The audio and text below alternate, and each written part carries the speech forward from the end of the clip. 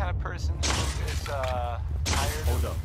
living in Diamond City and you maybe want a adventure, I guess you have a new option.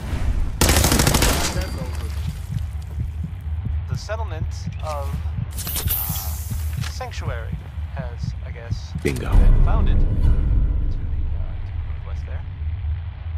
Good luck to them with, you know, the whole surviving thing.